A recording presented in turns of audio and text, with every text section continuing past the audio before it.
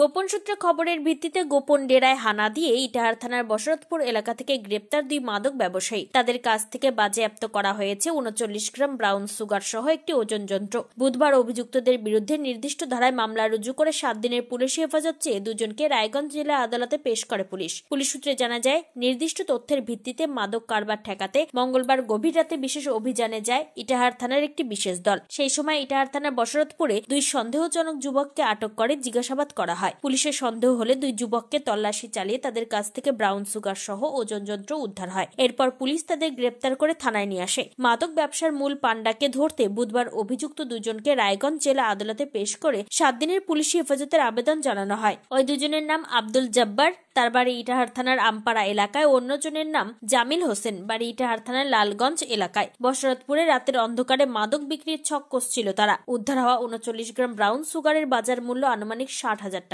উত্তর দিনাজপুরে ইটাহার থেকে নিজস্ব প্রতিনিধি রিপোর্ট, টাইমস ফোরটিন বাংলা। সব মাই চায় মেয়েকে রাজরানীর মতন সাজাতে। সাজিয়ে তুলতে চায় সোনার গয়নায়। ওরিয়েন্ট জুয়েলার্স, সোনা যা সর্বক্ষণের।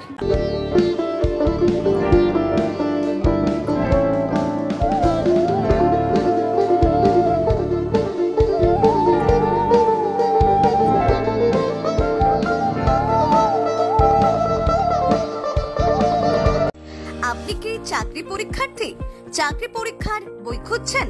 তাহলে আজই চলে আসুন সৌর বুক অ্যান্ড ম্যাগাজিন সেন্টারে। এখানে BSc WBCS bank, rail ICDS nursing ANM এবং জিএনএম সহ কেন্দ্রীয় ও রাজ্য সরকারের সকল চাকরির পরীক্ষার বই ও ম্যাগাজিন পাওয়া যায়। আমাদের ঠিকানা খড়িমোড় মোহনবাটি, রায়গঞ্জ।